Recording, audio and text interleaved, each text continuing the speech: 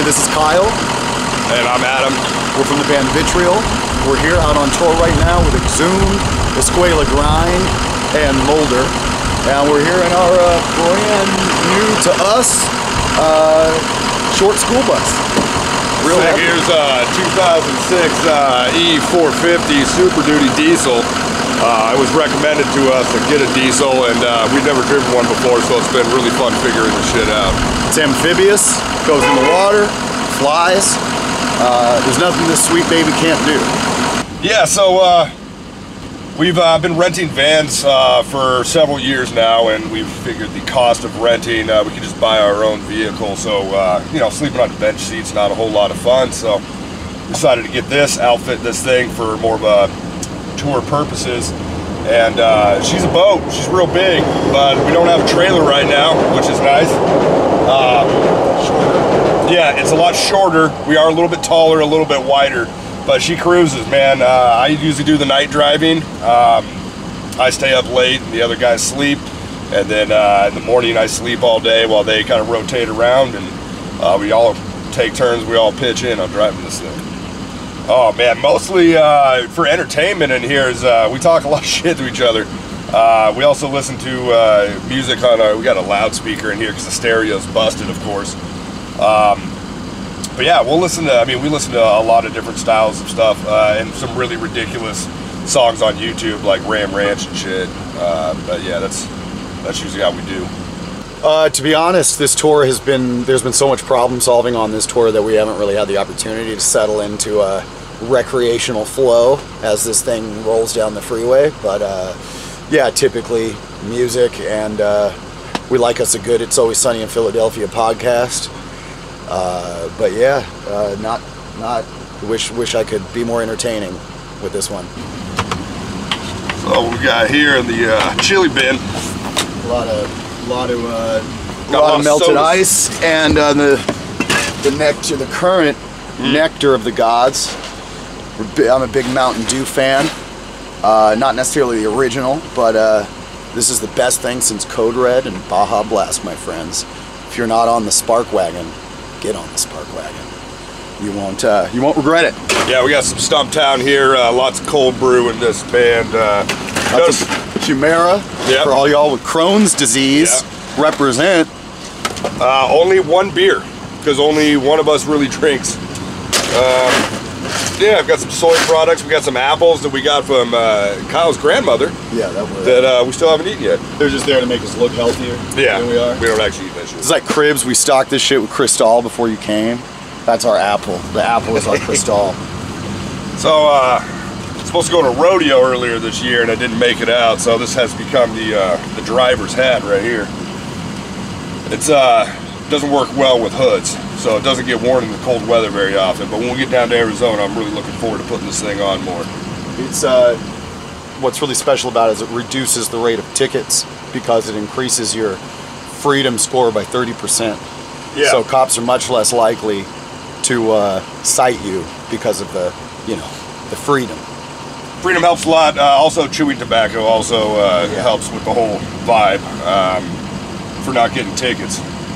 Yeah, right and dirty. Boy, have I got a story. So when we got this thing, there was a, uh, a fire extinguisher right there, and uh, we our, our heater wasn't working uh, when we first started the tour, so we needed uh, some form of heat. So we got this propane tank, which is way too big, uh, and this nice fancy propane heater right here.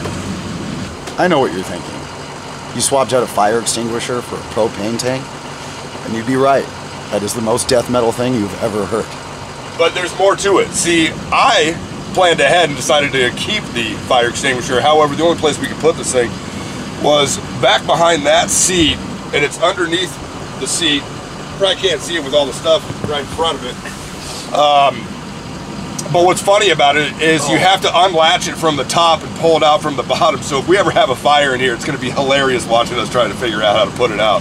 Here, you get a nice up close on this smashed ranch packet. Yeah, there we go. That's what tour looks like, and that's also what tour feels like.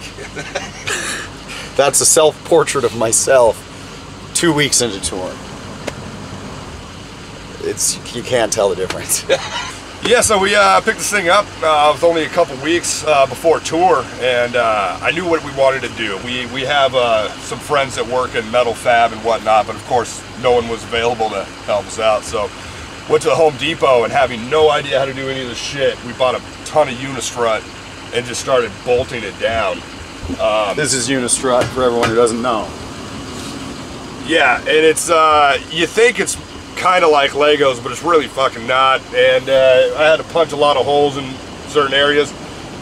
It's some of it's a little questionable. I'm not gonna lie. Uh, this wall, all of our gear goes back there, and nothing's penetrating this wall. These two beams go through to the outside of the beams of the bus, so that's pretty sturdy. And everything's kind of essentially built on top of that. So feeling pretty confident in that.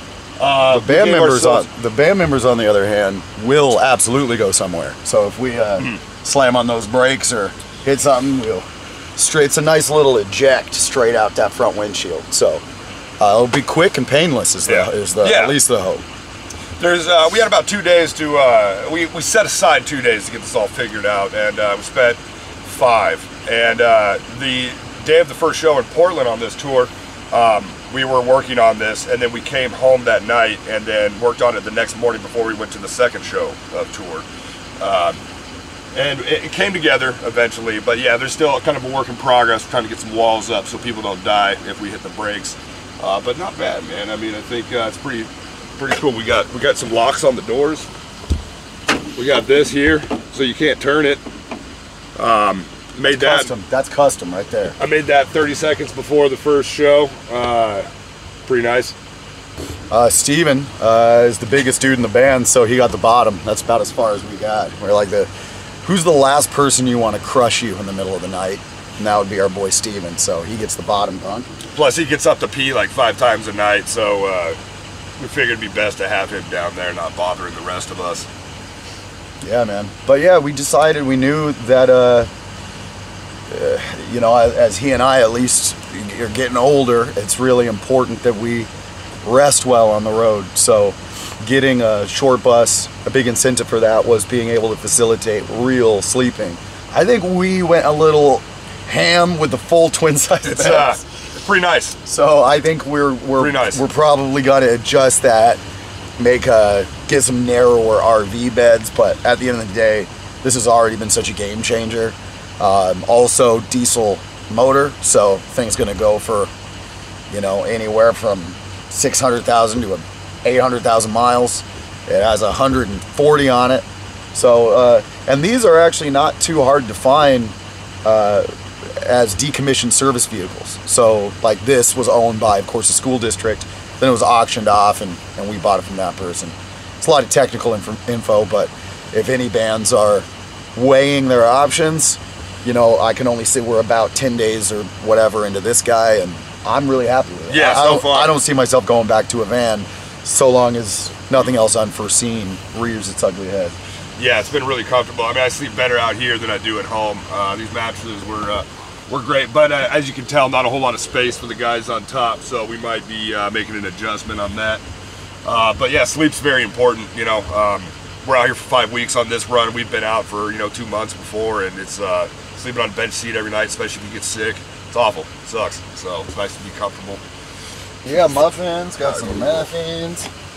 This is just kind of a missile. I think this is, to be honest, I think this is the uh, guy is coming to film the inside of our bus and put shit in there bin. I think that's what this is technically doing. Yeah. But uh, we have, let's see, let's see. We got hype. some, uh, a classic pairing. You all know. You, anyone who's been, knows anything about fine dining knows about the blueberry muffins and crushed red pepper. So obviously, rolling Great combo. hard with that. Coca-Cola. Okay. Here's a tour must. Emergency. Excuse me. Inner C. Yeah. Don't sue me. And then we got some fucking Uh, we got a forgotten about banana. nice. um, wow, look at that. Got an old vitriol beanie. Oh, I need a beat. Look at that. I didn't even know we had that shit. Yeah, I lost mine. I'm gonna put the shit on.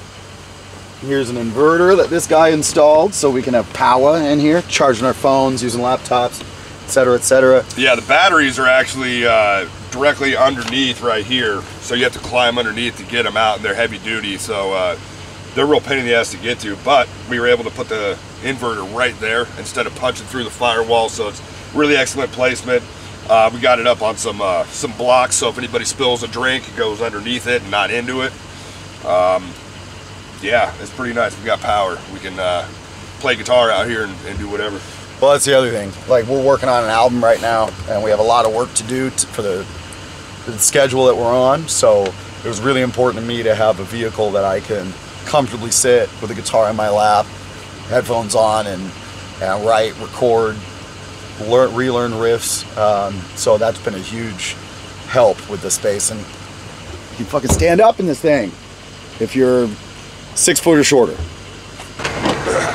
So we got some locks on here. Uh, you know, obviously these don't open, uh, or they, excuse me, they don't lock because uh, it's an emergency vehicle. If you ever crash or whatever, you got to get children out.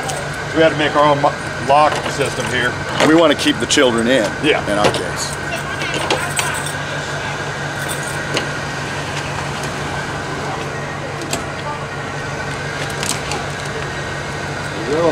Big rectangular room. Fits all of our gear, fits all of our merch. Uh, case of water, I guess. Yeah. Yeah. And we got the uh, side door as well over here for pulling cabs out. It's great, and it's you know usually right on the curb, right in front of the venue. Pretty convenient. Uh, the only thing that's not convenient is getting in here and putting all the gear away when you're not four feet tall. Well, thanks for checking out uh, version 1.0 of uh, what is, we hope to be, our long-term vehicle for the career of the band. I'm Kyle, this is Adam from Vitriol, and you can check us out in April on the road on the East Coast portion of Morbid Angels Tour alongside Revocation and Crypta. Looking forward to it. See you out there.